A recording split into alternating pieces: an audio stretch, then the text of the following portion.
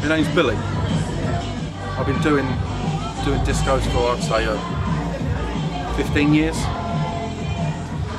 Yeah, I do parties for, for weddings, to small parties, to, to everything really, and kids parties, all sorts. There's a lot of variety of music. Yeah, it depends on the crowd really, on, on the night. It could be old, there's old, oldish people, then I play older music. There's younger people, I play, play up-to-date music. Does it take long to set up and pack away? Yeah, that's that's the bad part I, I hate really, but um, it does take a good hour really. So what's been your best night? Um, they're all good nights as long, I mean, as long as the crowd's with it and everyone's up dancing, I'm happy and, and it's a good night. So what's been your worst night?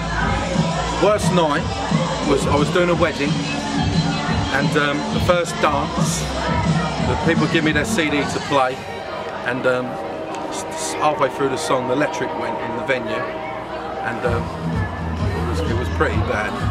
Everyone looked at me like it was my fault but um, obviously it wasn't.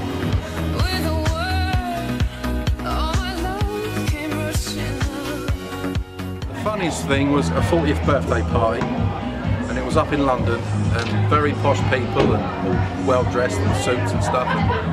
And, um, the guy's wife told me um, to play "Take on Me, a-ha," and uh, they told me to play at the end of the night. Do not play it before.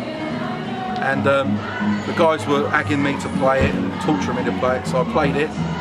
And um, they all stripped off naked, and they all done a little dance, and that was really the funniest night. So would you say it's a profitable thing to do? Um, like I say, it's more of a hobby. You can't earn loads out of it, but you know, it's more of a hobby. Do you sing? I do sing, yes, I do. Will you sing for us? Probably Later? Not, no, I've got a bit of a sore throat, really.